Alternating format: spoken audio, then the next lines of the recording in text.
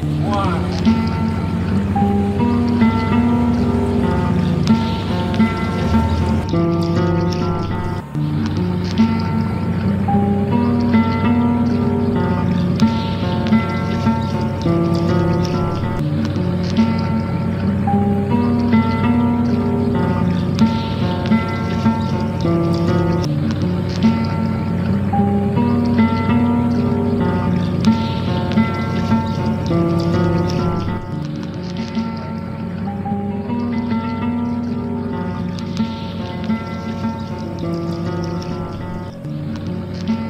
Phóng sinh.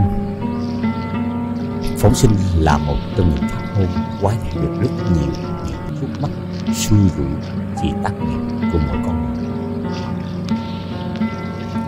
Thứ nhất, nói về mặt tâm linh. Phóng sinh được quá giải những quan gia, tiền căn tiền kiếp quá giải được những nghiệp của tiền thời quá giải trong đương thời thứ hai, nói về mặt tâm lý. Khi chúng ta làm những hành động tốt với những sinh vật nhỏ bé, tâm lý chúng ta sẽ cảm thấy rất nhẹ nhàng và thư thả hơn.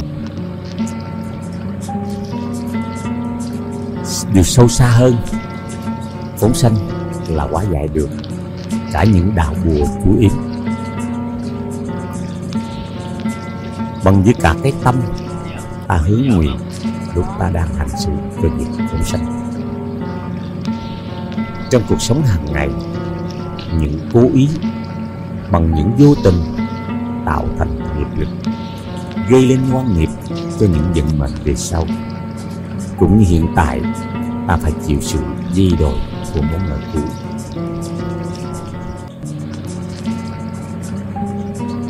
Phóng sanh ở dưới nước, thì nghiền sinh với lâm thần thủy thần xưng danh, niên kỷ và nguyên quán.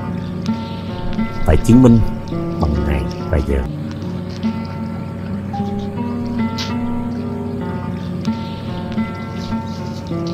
Nguyên lấy công đức, gửi những quán chướng theo các binh gia, tan ra sông biển, tiêu trừ những quan gia trái chủ, tà ma yểm đối cho thân tâm ta được bình an.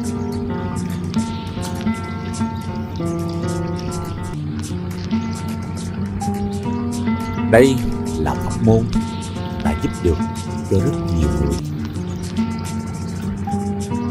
Hãy chia sẻ nếu thấy hay và hiệu nghiệm. Phạm Minh Quý cũng mong ước cho những ai thấy được video này và làm theo. Sẽ tiêu tai, tiêu trừ những hoặc những điểm xấu, cũng như những tà ma chiếm đối cho thân tâm luôn được bình an. Nam mô tiêu tai giáng kiết tường bồ tát. Nam mô tiêu tai giáng kiết tường bồ tát. Nam mô tiêu tai giáng kiết tường bồ tát. Ma